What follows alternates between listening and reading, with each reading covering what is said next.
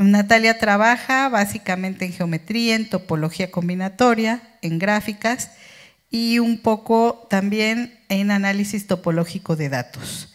Eh, cuenta con distintos artículos de investigación reconocidos, estudiantes de distintos niveles y bueno, está haciendo una labor importante en, en Aguascalientes, en el Infotec y ahora está en un sabático, bueno, en un año ahí, en un, sí, de alguna manera, en Bruselas, en la Universidad Libre de Bruselas.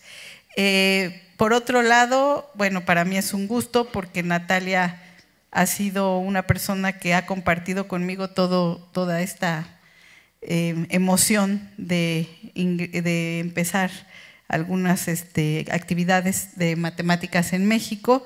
Realmente hemos colaborado juntas muchísimo y con Rubén y con varios de ustedes.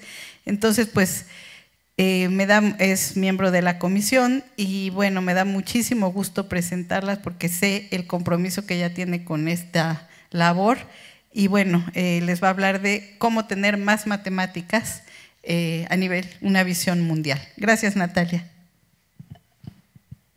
Gracias Gaby por la presentación, gracias al comité organizador por la invitación a impartir esta charla.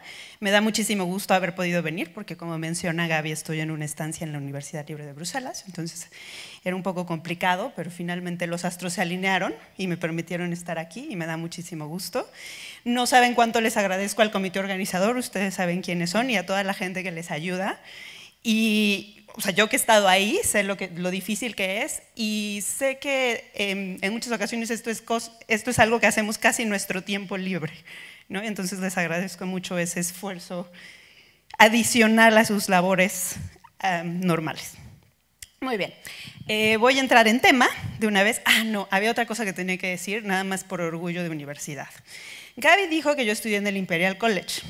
Yo no estudié en el Imperial College, estudié en UCL. Y para explicarles por qué tengo que aclarar esto, es como si a alguien de la UNAM le hubieran dicho que estudió en el Poli o viceversa. O sea, como de ese nivel. Entonces, ni modo, como me están grabando, tengo que aclarar. ¿No? Yo soy egresada de UCL. Bueno, ya, eso es todo. Ahora sí entro en materia. Muy bien, pues el propósito de esta plática es bastante informativo, la verdad. Entonces, Voy a ir muy rápido, es mucha información. Si quieren eh, las diapositivas después, se las doy. Si quieren cualquier otra parte de la información, se las doy. El propósito de esto originalmente en mi cabeza era como decir, ok, muchas veces ustedes van a tener conversaciones sobre género y matemáticas y sobre por qué es importante impulsar a las mujeres matemáticas todo el tiempo seguro les ha de pasar, a los organizadores organizando este evento seguro en sus departamentos llegan y les preguntan por qué, y luego ya que se hacen fama, hasta sus cuates, cuando están tomando unas cervecitas, les van a preguntar, ¿no? O sea, como que eso es lo que sucede invariablemente cuando uno se involucra en estas cosas. Y entonces, pues es bueno tener un arsenal, ¿no? Para decirles, ah, pues fíjate que mira, por esto y por esto y por eso. Entonces, era la idea inicial de la plática. Obviamente voy a ir sobre eso. Y luego al final voy a mencionar unas cosas un poquito más pragmáticas sobre uno en la práctica, a qué becas puede acceder, qué programas hay, así. Y para nada es extensivo, o sea, más bien es como una moraleja de qué es lo que se está haciendo en varios aspectos. Muy bien, entonces empecemos y necesito el control. Ok. Muy bien, pues estas son las organizaciones que les voy a tratar de presentar. Muchas de ellas ya las conocen. Eh, no voy a ser muy extensiva en lo que hacen, sino voy a mencionar cuáles son las partes útiles. Entonces empiezo por la ONU y la UNESCO. Ok. Eh, dice en la Declaración de los Derechos Humanos que todos los seres humanos nacen libres e iguales en dignidad de derechos y dotados como están de razón y conciencia deben comportarse fraternalmente los unos con los otros. Entonces, la verdad es que si tienen flojera de tener la discusión de por qué deben de apoyar a las mujeres, les leen el artículo 1 y ya, y dicen, ok, cambia de tema, ¿no? Así, como, ¿por qué? Pues porque ya, ¿no? Bueno, pero entonces, pues en consecuencia, la ONU hace estos programas y estas políticas muy intelectuales, porque es una ONG, y en 2008 eh, sacaron esta lista que se llama el Programa de Desarrollo Sostenible. Tienen varios puntos. El quinto es eh, equidad de género.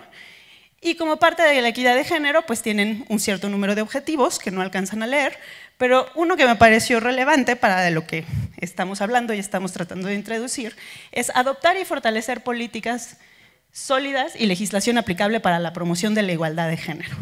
Que esto en nuestro caso pues significa que las universidades y las instituciones y el SNI, CONACIT y todas estas cosas pues tengan políticas de equidad y género. ¿no? Bueno, muy bien. Entonces, en particular, UNESCO, que es una subsidiaria de la ONU, debe promover la igualdad de género en el marco de su mandato. Y entonces, eh, vamos a ver, no funciona. Sí. Así, siguiente de plano, bueno, vamos a ver. Siguiente. entonces, este, eh, pues eso, también ellos tienen en su sitio, que es, que es muy útil, y en 2007 deciden que una de sus prioridades globales es efectivamente lograr la equidad de género y hay unos planes que se pueden consultar en internet acerca de cómo se hace esto. Siguiente, por favor. Ok. Y bueno, entre esas prioridades globales hacen un análisis sobre mujeres en la ciencia y designan que es importante que haya más mujeres en la ciencia. Y mencionan esto. Hoy en día las mujeres representan solo el 30% de los investigadores del mundo e incluso porcentajes más bajos en niveles más altos de toma de decisiones. Y obviamente esto de niveles más altos de toma de decisiones, pues tiene que ver con los clubes de Toby, que uno promueve y asciende y hace políticas para la gente con la que se identifica, consciente o inconscientemente. Y entonces es un problema cuando no hay mujeres en el liderazgo, porque la gente que está allá no piensa en los problemas inherentes. Ok, siguiente. Ok. Entonces, este párrafo me encantó. Si se acepta ampliamente que la creación de conocimiento y la comprensión a través de la ciencia nos permitirá encontrar soluciones a los desafíos económicos, sociales, ambientales actuales para lograr un desarrollo sostenible en todo el mundo, la ciencia no puede seguir despojándose de todo el potencial científico de más de la mitad del planeta. Y ya, ok, si quieren ya se acabó la conversación aquí, ¿no? Entonces, pues esa es la, la razón por la que hay que hacer estas cosas. Ahora, ya más en, términos de las iniciativas para las mujeres en la ciencia, la UNESCO tiene estos proyectos e iniciativas que son relevantes para esta charla. Eh, en particular, tienen este, parte del proyecto que se llama Women in Science, Explore the Data, and STEM and Gender Advancement. Eh, los mando a esta parte, es una captura del sitio, y entonces pueden ir ahí y ver, y hay mucha información, y PDFs y así, pero lo que me pareció mucho más interesante es precisamente en los proyectos e iniciativas, ese de Mujeres en la Ciencia, de Exploren los datos. Y pues los datos nos ayudan a entender los problemas, ¿no? Ya varias charlas de hoy han tenido datos, pues porque sabemos que eso nos ayuda a entender los problemas. La que sigue. Y entonces antes solían tener un interactivo muy lindo, del cual tengo una captura de hace unos años, pero pues lo retiraron no sé por qué. Pero todavía los datos se pueden acceder en una forma menos amigable. La que sigue, por favor. Y de esos datos decidí extraer este mapita, entonces si presionas en la que sigue lo vemos más grande, en el que es el porcentaje total de investigadores, donde tienen una definición de investigador bastante amplia, y ese es uno de los problemas de hacer estudios internacionales, que lo que significa ser investigador en diversos lugares es distinto. Entonces, hacer datos globales sobre estas cosas es una cosa muy, muy, muy difícil y es muy regional. Entonces, bueno, en un país como México escriben que entre el 30 y el 45% de los investigadores en ciencia somos mujeres. Y si se fijan, muchos de los países más desarrollados este, de Europa tienen todavía menos porcentaje y por alguna razón no tienen datos para Estados Unidos, lo cual parece un misterio absoluto. O sea, ¿cómo en Estados Unidos no tienen datos? O sea, ahí uno dice, esto fue política, ¿no? No querían mostrar lo que era obvio, porque de otra manera, ¿cómo? ¿No? Bueno, la que sigue, por favor.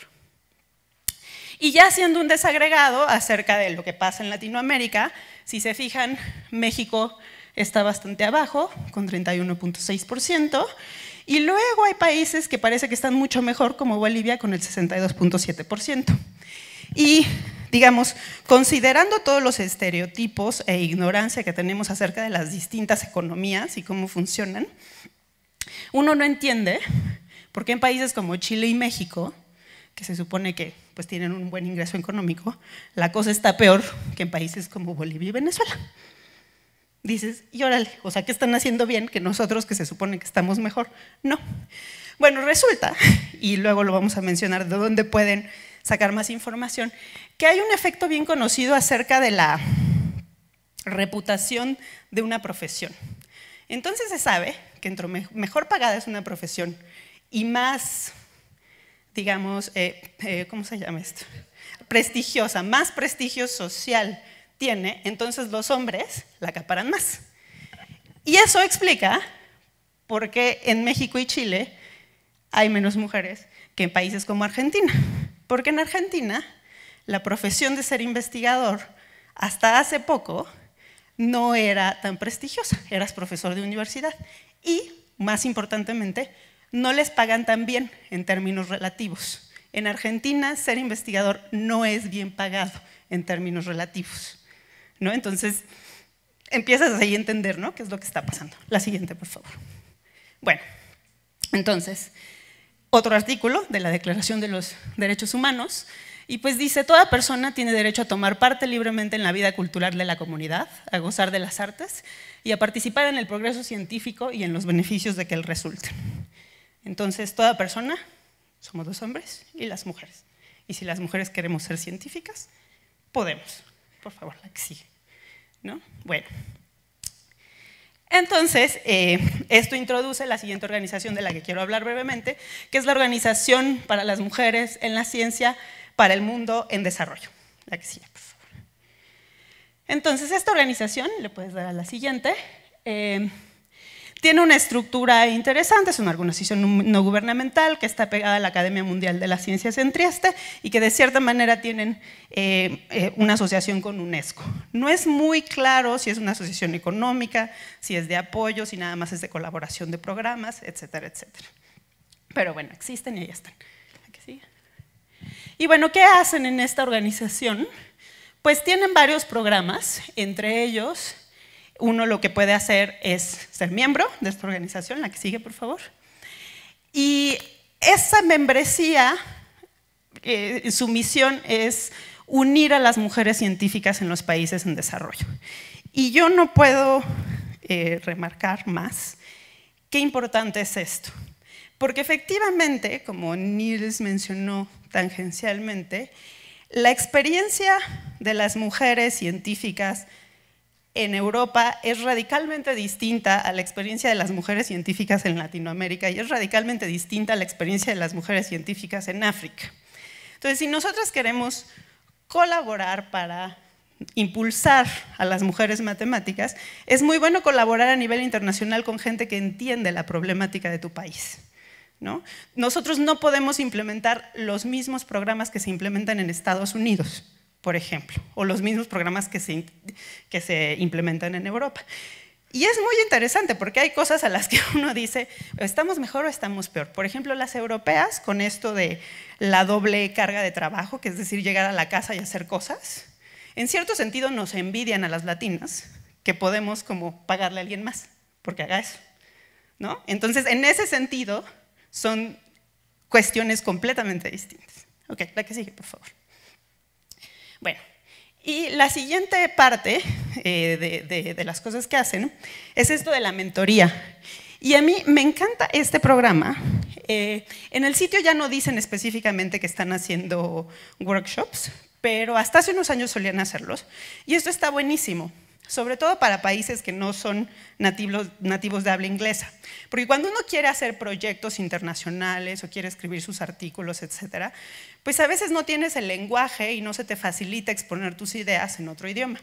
Entonces hacen talleres para hacer cosas como refinar el estilo de escritura, comprender el proceso de revisión por pares, para preparar presentaciones, para preparación de propuestas de investigación, etcétera, que son cosas que ayudan muchísimo y que a uno no le enseñan en el doctorado. ¿no? Entonces, ese es uno de los programas que a mí me parece que es muy importante remarcar que existe. Por favor. Ok. Y la última creo que era sobre becas, no sé. Sí. Eh, y entonces, bueno, tienen un programa de becas para posgrados en otros países de desarrollo y apoyos para mujeres científicas que inician su carrera. Eh, Estos posgrados en otros países en desarrollo es, tú eres un país de vías de desarrollo de cierto nivel y vas a otro país de vías de desarrollo a hacer tu doctorado, ¿no? Entonces, peruanos que van a México, venezolanos que van a Colombia, etcétera, etcétera. Esa es como la clase de, de becas que dan. Pero bueno, también es importante verlas porque tal vez, no sé, ustedes quieren traer un estudiante de otro país a estudiar a México y es una posibilidad. La que sigue, por favor. Muy bien.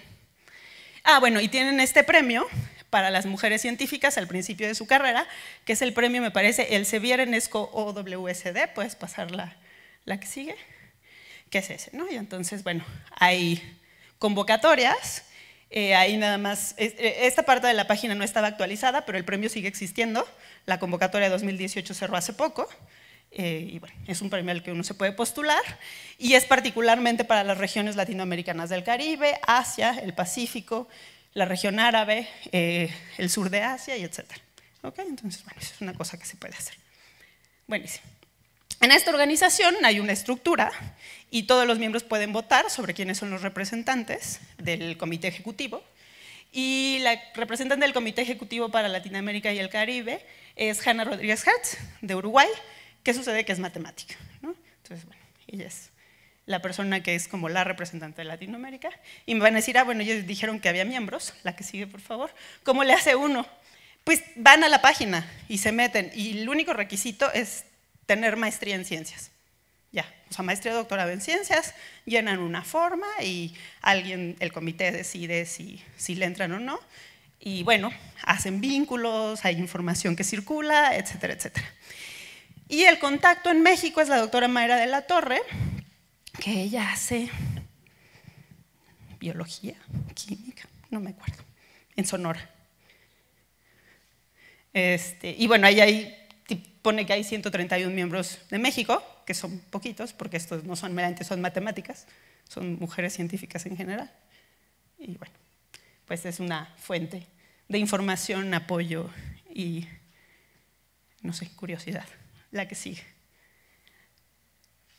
Bueno, y como adicional les voy a mencionar un poquito sobre eh, la Academia de las Ciencias para el avance de la ciencia en eh, países en vías de desarrollo. Eh, la que sigue, por favor. Porque, bueno, está muy junta a la OWSD. Tiene los mismos principios, o sea, como la misma función que la OWSD, pero es para hombres y mujeres, ¿no? O sea, es como para aglutinar a todos los científicos en los mundos desarrollados, pero por supuesto también tienen programas a los que las mujeres y los hombres pueden acceder y entonces por eso los menciono. Eh, el sigue. Eh, bueno, estos son, si pasas todos los bullets de aquí, ¿está bien? Eh, estos son los puntos, promover la excelencia en la investigación, promover la cooperación sur-sur y sur-norte en ciencia.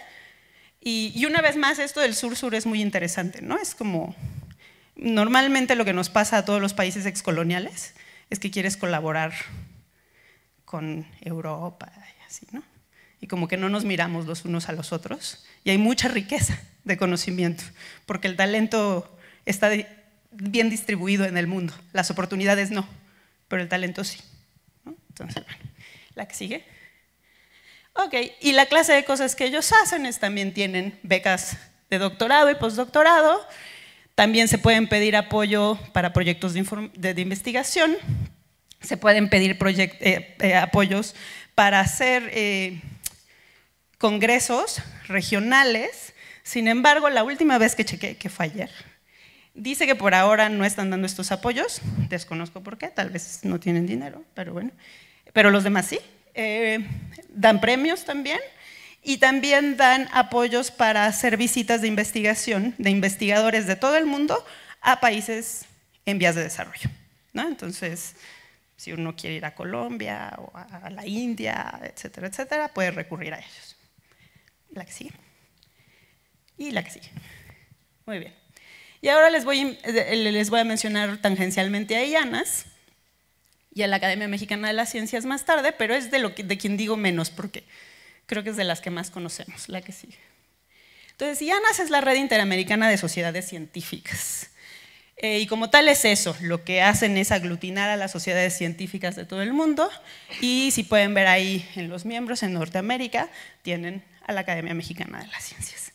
Eh, Yanas, la que sigue por favor, tiene un proyecto para las mujeres en la ciencia, hacen varias cosas, hasta donde sé, y Yanas en realidad no tiene dinero, es más como una red, ¿no? tiene dinero para realizar actividades.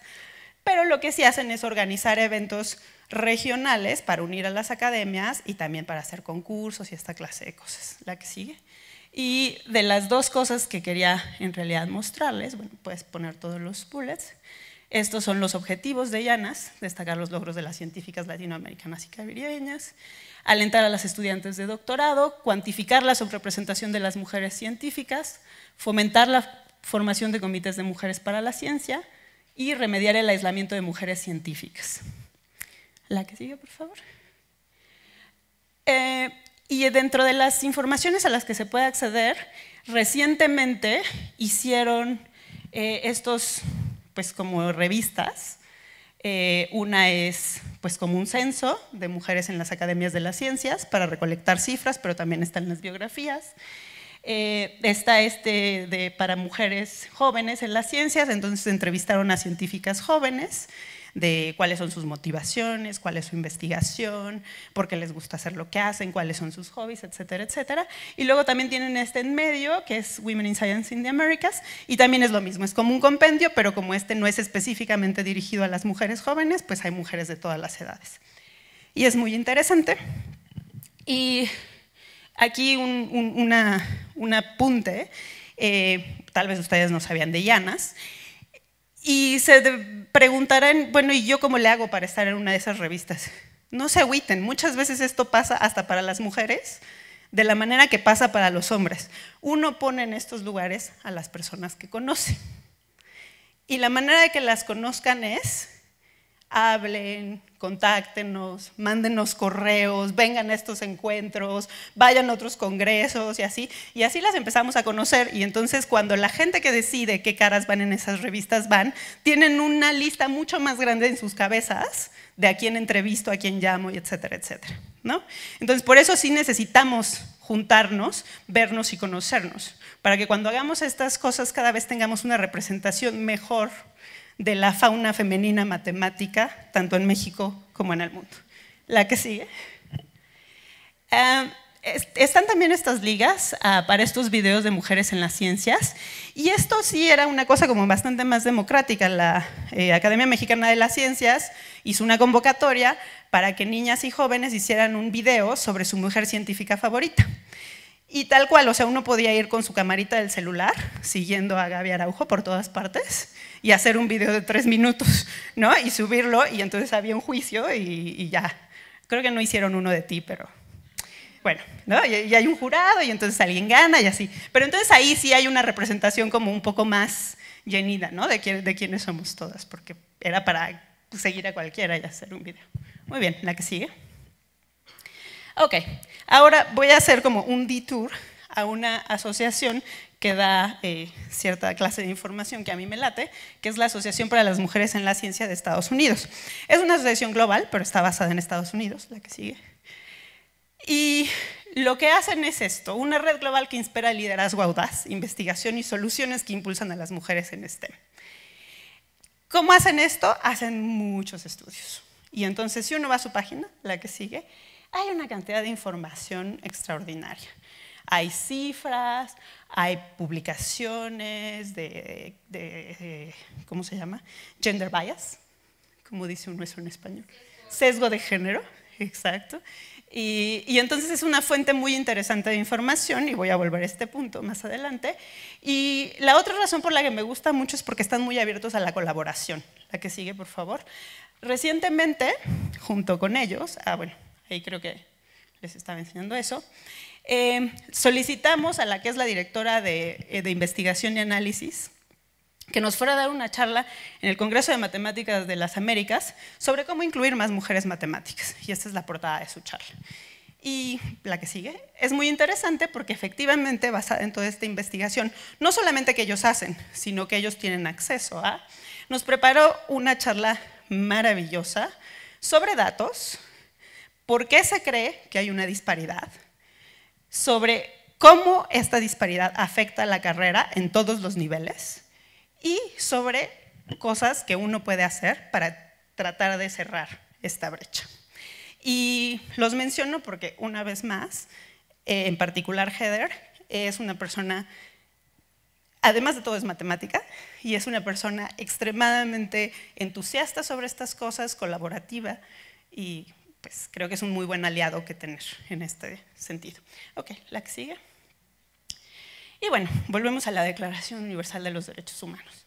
Y aquí dice, toda la persona tiene derecho al trabajo, a la libre elección de su trabajo, a condiciones equitativas y satisfactorias de trabajo y a la protección contra el desempleo. Entonces, además de que algunas mujeres queremos ser científicas, queremos ser matemáticas y queremos que nos traten equitativamente. Lo que sigue. Y entonces, pues ya voy a empezar con las asociaciones que son específicas para las matemáticas. La primera, que se mencionó en la plática de Neil, es el, Comité para las Mujeres en las Matemáticas de la Unión Matemática Internacional, la que sigue.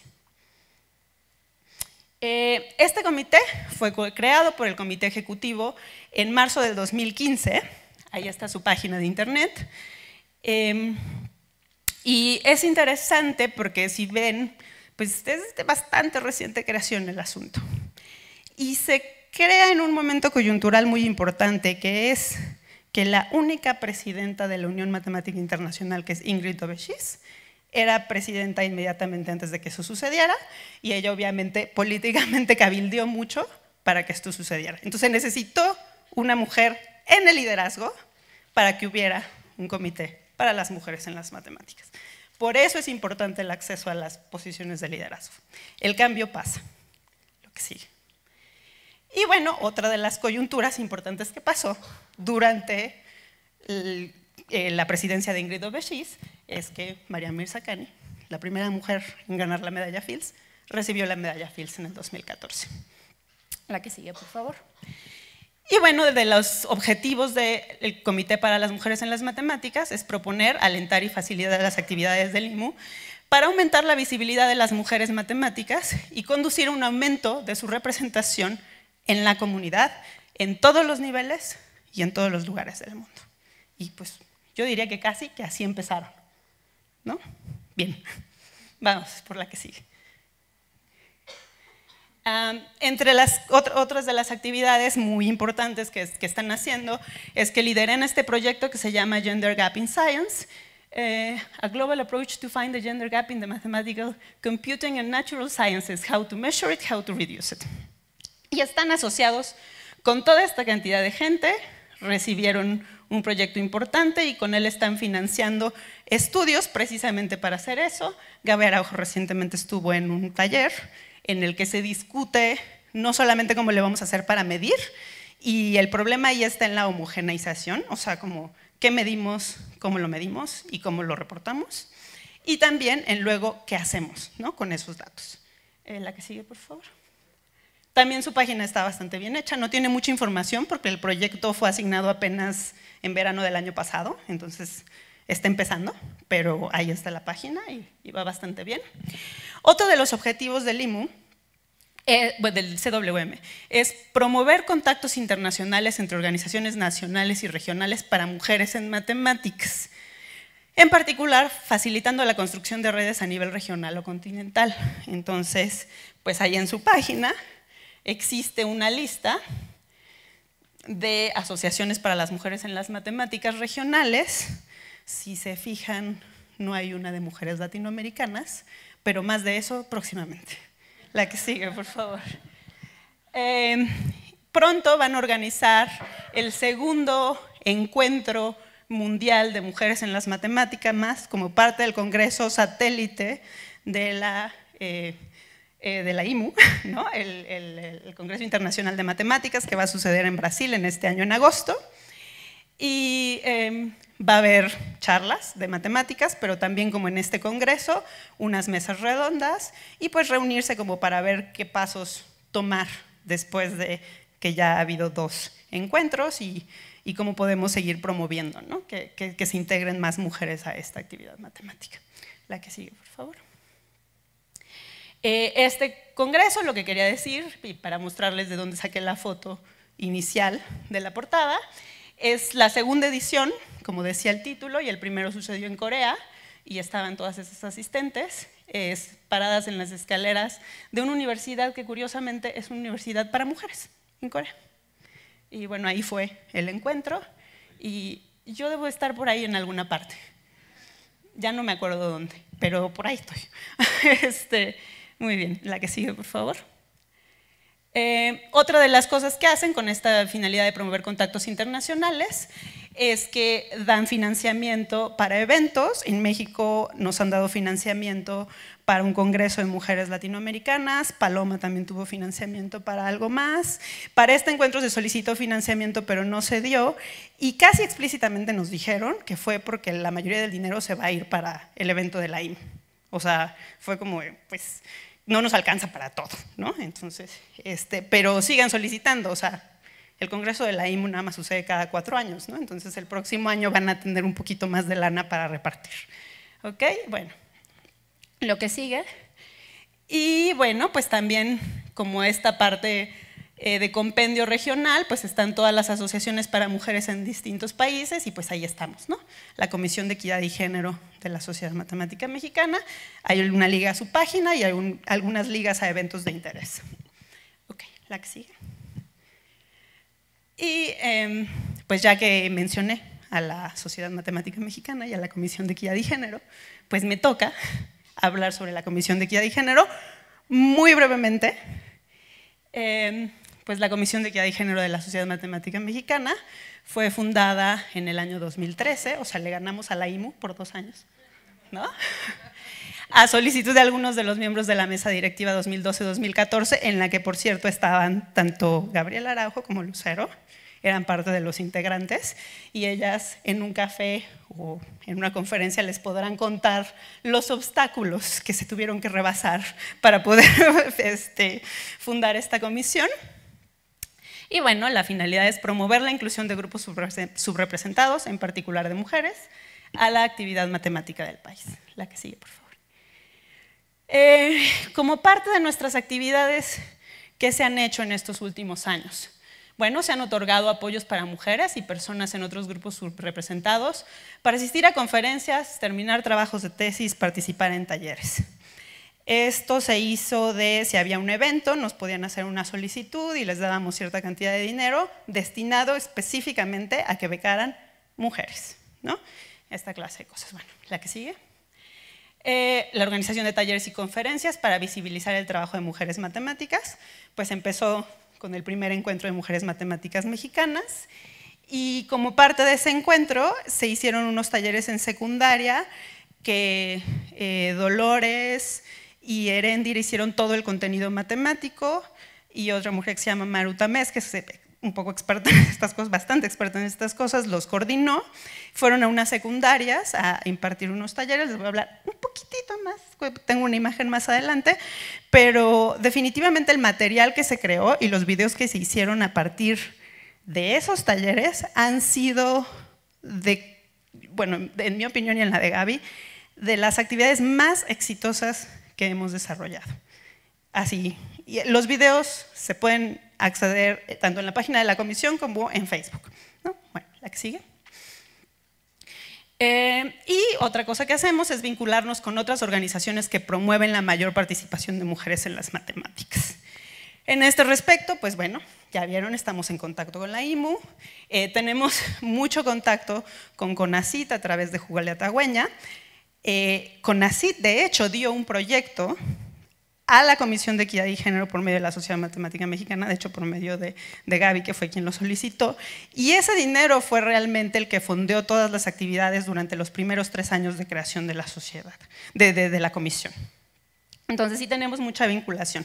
Tenemos vinculación con, otras, eh, con otros grupos de mujeres, como el Grupo de Mujeres Matemáticas de Chile, que se llama el Colectivo de Mujeres Matemáticas de Chile, la recién creada Comisión de Equidad y Género de la Sociedad Matemática de Colombia, eh, obviamente con el Comité para las Mujeres en las Matemáticas, con Llanas, con el CWSD. O sea, hemos ido creando estas redes como para informarnos y alimentar ¿no? la, creación de proyectos. La que sigue, por favor. Ok, esta es la página y eh, lo que les iba a decir es la que sigue. Em, creo que todo el rollo que me acabo de echar me lo tenía que echar ahorita. Entonces, en la página, nada más para dejarlo en, la anterior, en la página se puede acceder a través de la página de la Sociedad Matemática Mexicana. Hay una pestaña que dice Comisión de Equidad de Género, luego hay varias pestañas. En las actividades hay un resumen de varias de las actividades que hemos realizado. Está un resumen del encuentro, que por cierto, como para hablar del impacto que tienen estas cosas, muchas de las que estábamos aquí estábamos en ese primer encuentro. Muchas, ya sea como participantes, como ponentes, como organizadoras, y también, honor donde el honor va, eh, creo que de las personas que están aquí, Fabiola fue de las primeras en proponer que ese encuentro existiera, y si bien recuerdo se lo propuso a Lucero, y Lucero dijo, va, y entonces Lucero le dijo a Gaby, y Gaby dijo, va, y entonces en el comité organizador original estaban Fabiola, Gaby, eh, Carlos Barrera y Rubén. Y entonces, pues casi que por eso estamos aquí, ¿no? Porque hay una colaboración constante de esta comunidad. Eh, la que sigue. Y bueno, en estas este, flechitas, que les dije que no les iba a decir nada de la Academia Mexicana de las Ciencias y del CONACIT, eh, efectivamente la Academia Mexicana de las Ciencias tiene algunas asociaciones con programas para mujeres en la ciencia. El CONACYT no es explícito que tenga programas para mujeres en la ciencia, pero bueno, al menos ahora ya en sus reglamentos especifica que uno tiene que ver la dimensión de género, etcétera, etcétera. Yo diría que, la cosa en los últimos años que he visto más atinada es, por ejemplo, el número de personas que tuvimos una cátedra CONACYT que somos mujeres, o sea, casi 50-50, lo cual no me parece que sea una coincidencia, ¿no? Entonces, este, hay cosas que se hacen, obviamente se necesita hacer mucho más. Eh, pero pues el programa más famoso para las mujeres en la ciencia que tienen estas asociaciones es la beca L'Oreal, UNESCO, AMC, CONACIT para mujeres en la ciencia. Eh, ahí hice un, screenshot de, la convocatoria, está abierta, no es cierto, cerró el 28 de marzo, ¿no? pero, este, pero todavía está así la página. Em, y bueno, pues esta es una, convocatoria dirigida a mujeres científicas que se doctoraron recientemente y pues esencialmente se les da un poco de dinero para que lleven a cabo su proyecto. Este, este dinero les puede servir para viajar, para comprar equipo, para traer invitados, etcétera, etcétera. Y, y realmente creo que le da mucha visibilidad a las científicas mexicanas, lo cual está muy bien y es de gran impacto. La que sigue, por favor. Y bueno, ya había mencionado un poco eh, la asociación que tenemos con CONACYT y una vez más, sí tenemos que reconocer que los primeros tres años de actividades no hubieran podido ocurrir sin ese proyecto en la convocatoria de género y violencia, raro, género y violencia, y que se le otorgó a la Sociedad Matemática Mexicana. O sea, realmente mucho de lo que hemos hecho es gracias a haber recibido ese dinero.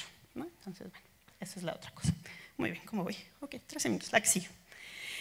Ok, y entonces, estas, no, no, no, no digo que estas sean todas las asociaciones, ni esto es todo lo que hacen. Obviamente hay mucha gente involucrada en esto, muchas veces de manera voluntaria.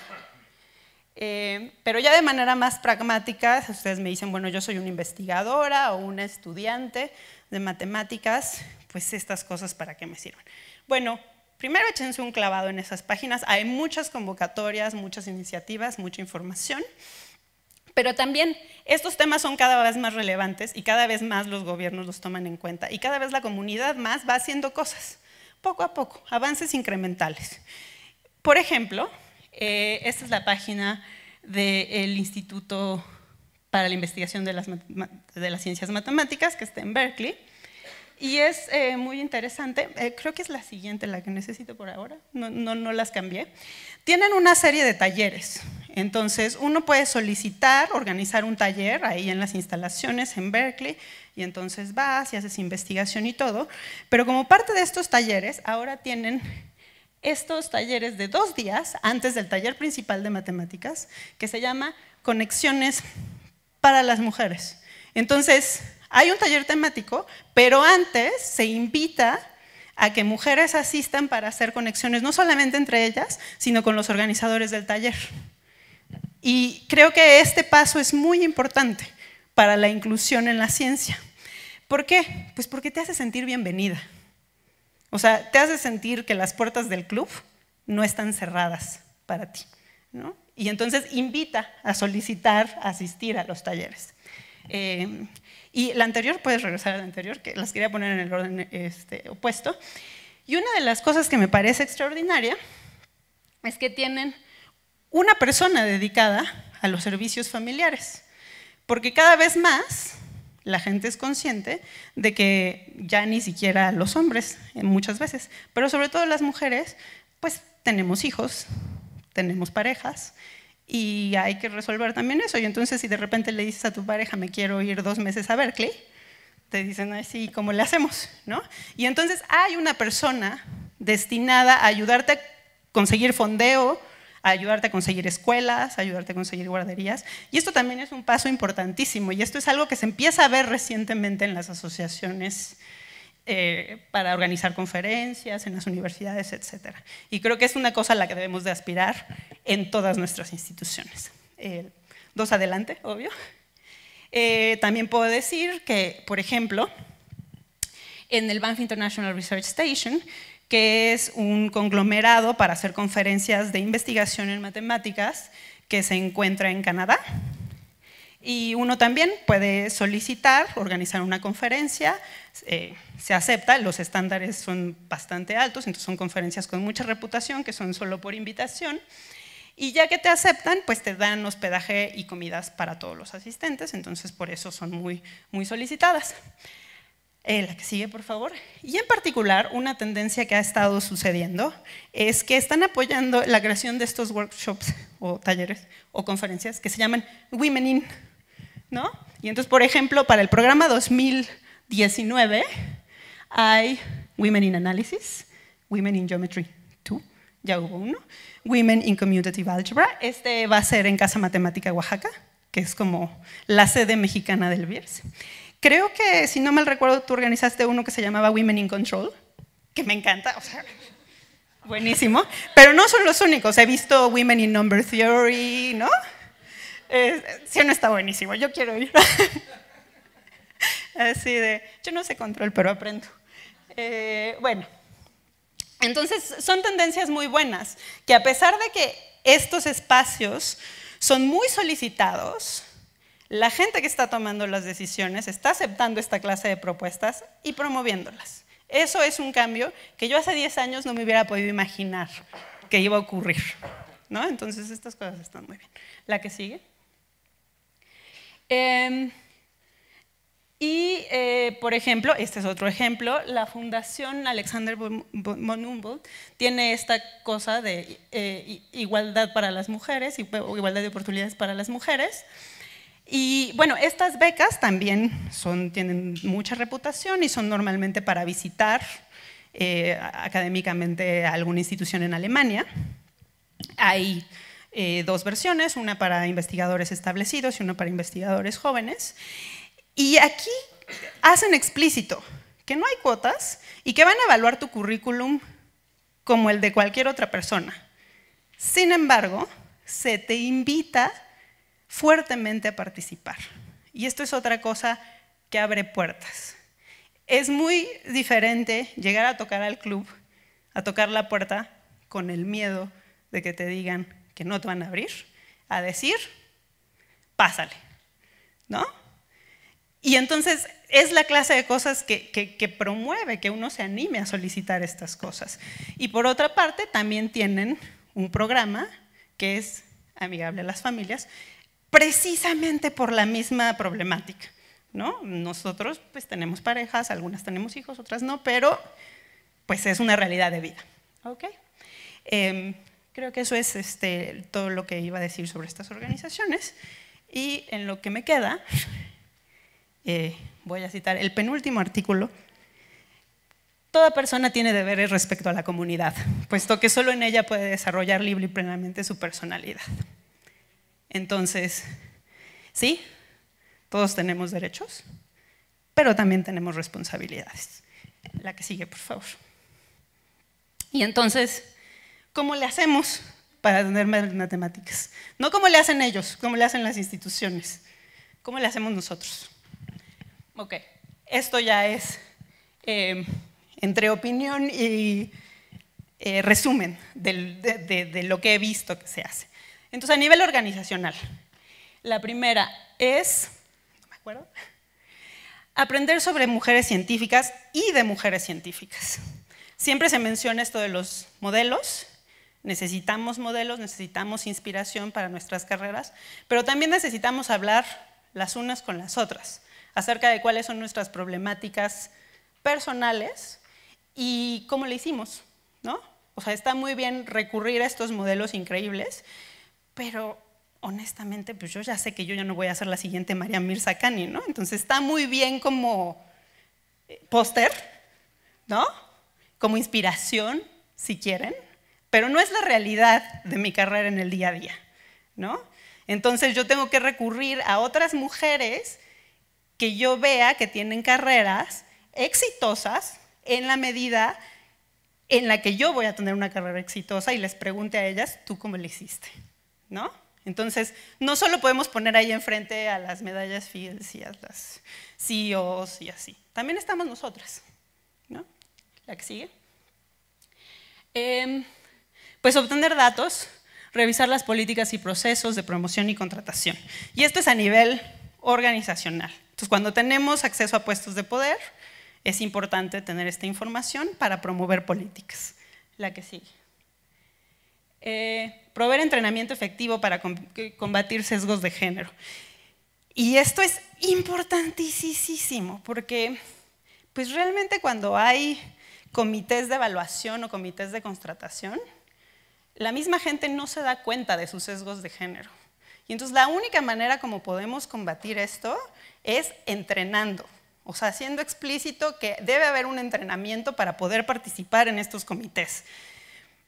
Mínimo, ¿no? Ya después tú haces lo que quieras en el comité, pero mínimo te debemos de decir, oye, fíjate que puede ser que tengas un sesgo, ¿no? La que sigue, por favor y crear mecanismos de transparencia y responsabilidad. Y en esto de la transparencia y responsabilidad es obviamente muy difícil y es todavía más difícil en un país como México, ¿no? en el que toda la toma de decisiones parece que siempre se hace a puertas cerradas, tras bambalinas y no por debajo del agua. Tenemos muchas expresiones para decir esto, ¿no? Y, justo es eso, ¿no? O sea, digamos, tenemos mucha evidencia anecdótica de que hay veces que sí se discute el hecho de que si eres mujer o no eres mujer, ¿no? Y entonces es como, bueno, ¿y por qué? Yo lo que quiero ser matemática, eso rebasa mi sexo. Entonces, tenemos en las organizaciones que transparentar cómo se hace la toma de decisiones. La que sigue. Pero ustedes me van a decir, bueno, pero pues ay Natalia, me estás pidiendo mucho. O sea, siempre en todas estas cosas de género se habla de que las mujeres realizamos una doble jornada. Vamos a trabajar, regresamos a la casa y tenemos que atender miles de cosas. Y tú me estás pidiendo una triple. Además me estás pidiendo volverme activista y líder y tener puestos de poder y todo. Ok, está difícil. No siempre se puede, uno no siempre tiene tiempo, pero a nivel individual, ¿qué hay que hacer? ¿O qué yo creo que uno puede hacer? Entonces empezamos pues explora tus propios sesgos de género. El Internet es maravilloso, hay una cantidad enorme de herramientas para explorar tú mismo cómo estás, cómo tienes tus sesgos de género, que te afectan a ti, afectan a tus hijos, afectan a tus estudiantes, afectan a tus colegas y hasta te afectan a ti misma, la visión que tienes de ti, las exigencias que te impones. Y cuando eres abierta hacia tus sesgos de género, pues es más posible que puedas combatirlos, simplemente. Bueno, lo que sigue. Aprende cómo combatir esos sesgos de género. Parte de mi propósito con toda esta charla es darles las ligas y decirles, la información está ahí. Si quieren aprender sobre sus sesgos, si quieren aprender cómo combatirlos, ahí está todo. Pueden usar como de lectura para irse a dormir ¿no? Así de, ah, hoy voy a leer un articulito sobre y ya, ¿no? Entonces es muy importante aprender. Y creo que para nosotras que somos académicas es un lugar muy natural donde empezar. La que sigue. Practica la empatía, y esto es importantísimo. Las cuestiones de género son transversales, rebasan, o sea, no es lo mismo nacer en una familia religiosa en el corazón de Guanajuato que nacer en una familia de académicos en el DF. Las barreras a las que nos enfrentamos para desarrollar nuestra personalidad y nuestras elecciones de carrera son distintas. Y entonces cuando hablemos con las unas con las otras, tenemos que estar muy conscientes de eso, de que no todas somos iguales. Estas cuestiones de género son muy transversales, atraviesan clase social, atraviesan religión. Así es. ¿no? Entonces, cuando hablemos los unos con los otros sobre los impedimentos, tratemos de escuchar antes de juzgar. La que sigue. Y pues finalmente, combate los estereotipos. Y con combatir los estereotipos, eh, no solamente me refiero a los que uno puede expresar en su casa, de hecho hoy escuché un comercial de InMujeres en el taxi, eh, en el que una mujer le está enseñando a alguien, a un niño presumiblemente, a cocinar y a tender la cama, y luego te enteras que es un niño del sexo masculino, porque se llamaba Carlitos o algo del estilo. Eh, y entonces ya la moraleja del, anuncio de radio es tienes que combatir. Pero no solamente hay que combatir los estereotipos en el interior de las familias y así. Hay que discutir con nuestros colegas, aunque nos duela, aunque nos dé miedo, aunque a veces no tengamos ganas. ¿No? Hay que participar, hay que aventarse, porque si no, eh, este cambio no se da solo. ¿no? Y ahorita realmente eh, hay una cosa que está pasando que es muy bonita, que se, que, se le llama que es como una nueva ola de feminismo. ¿no? Y la metáfora es afortunada y desafortunada al mismo tiempo de esto de las olas de feminismo. Porque lo que significa esto que estamos viviendo es que pues uno se puede subir a la tabla de surf y surfear la ola del feminismo y a ver dónde nos, a dónde nos lleva. Pero la metáfora es desafortunada porque las olas vienen, se van y dejan la playa intacta. Lo que necesitamos es un tsunami de feminismo. Y ahí los dejo. Muchas gracias. La por favor.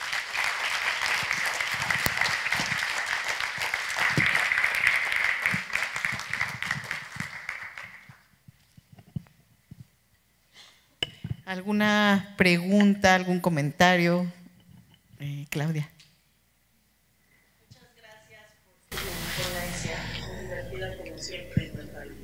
Solo quería un comentario nada más como para precisar, porque tú has del Third World, la, Organización para Países en Desarrollo de las Academias Científicas, queda completamente ajena a la Academia Mexicana de Ciencias. Y eso no es verdad, porque la Academia Mexicana de Ciencias es parte de la TUAS y parte de CONSO, que es la red. Además, lo importante que yo creo que habría que observar es no ver la Academia Mexicana de Ciencias algo tan distante como esas academias que a lo mejor se reúnen en Nigeria. La Academia Mexicana de Ciencias tiene una serie de programas que sí están en el fondo apoyando toda esta problemática de género como el trabajo directo con maestras, no hay maestros, de preescolar, por ejemplo, o el trabajo, y creo que parte de cómo le hacemos para tener más matemáticas, pues debe de empezar desde ahí. Entonces, como que a mí me gustaría que no quedara tan alejada algo a lo que es parte también de nuestro país y que muchas pertenecen también a la academia. Entonces sí me gustaría que en algún momento como que se sintiera no tan alejada como la Tonso hasta allá y la academia. No, de hecho, y permíteme solo aclarar una cosa, no soy académica. Pero, pero me gustaría decir. No, no, de hecho, eh, era parte de las cosas que tenía en el plan de cosas que decir. Obviamente no es una red completa, no estoy trazando todas las ligas, no estoy trazando las que decidí trazar en este momento y debí de haber sido más empática, de que no mencioné más las cosas que hace la academia, porque creo que posiblemente en México es la que tiene más presencia y promoción, es la que nosotros conocemos, pero tienes razón, la academia hace muchas cosas. Sí, pero creo que no. Y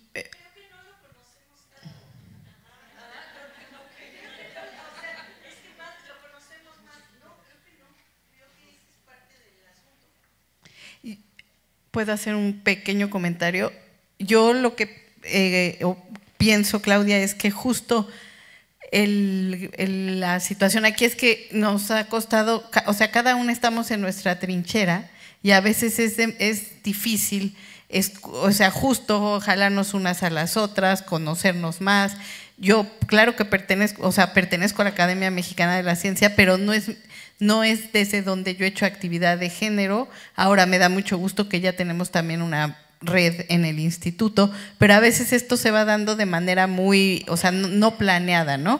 Entonces, quizás estaría bien, ahorita que hablabas, estaba pensando, ¿por qué no promover desde la academia una reunión de, científicas mujeres?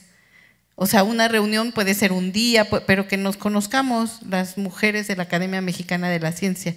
Yo creo que esto sería algo muy interesante de hacer y entonces este, vamos jalando todas juntas, ¿no? Nada más, en León, Guanajuato organizan todos los años una reunión de mujeres científicas mexicanas. Este, lo sé porque me invitaron una vez, entonces, este, no sé, no sé quién lo organiza, o sea, no sé, el CIO, pero quién del dinero y todo eso, la verdad no sé. Consigue la academia, o sea, sí está involucrada. No es de la academia, pero sí es. Sí, sí, o sea, sí hay, sí hay cosas lo que veo es que no nos llegan a veces, no hay, no, no hay las redes de comunicación, ¿no? Este, Y bueno, lo de Women in Control fue una experiencia muy interesante, nada más para comentar, porque muchas eh, invitadas no quisieron ir, ¿no? Sobre todo las franceses. Hay una comunidad muy grande de mujeres en Francia que hacen control en ecuaciones diferenciales parciales y no fueron. Invitamos a muchísimas y fue una eh, y me dice, pues yo vine porque tú lo organizabas, así de plano, ¿no? O sea, pues porque tú estabas ahí, si no, no. Bueno, salieron todo mundo sorprendido, porque fue un encuentro de matemáticas, o sea, sí tuvimos dos, dos cosas de género, pero el resto fue hablar de nuestro tema, hacer matemáticas, pero dio la posibilidad de interactuar grupos que mundialmente estamos separados, ¿sí? O sea, el grupito de la Ciesca en Estados Unidos con el grupito de los franceses, con el grupito de los italianos que están liderados por no sé qué, que todos se pican los ojos, ¿sí? Y entonces hay, los egos no se dejan interactuar y entonces en las reuniones no se invitan a los congresos, no se trabaja juntos, pues en esta ocasión sí. Y fue maravilloso. O sea, ese sentido, pues rompió las pugnas de los machos alfa, perdón por...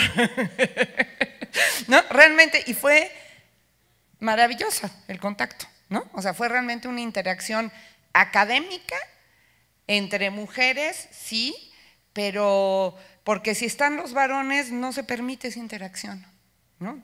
Tan, tan buena. Este, creo que queremos seguir hablando de esto. En 15 minutos regresamos a la mesa, pero a ver, última, última intervención y nos vamos.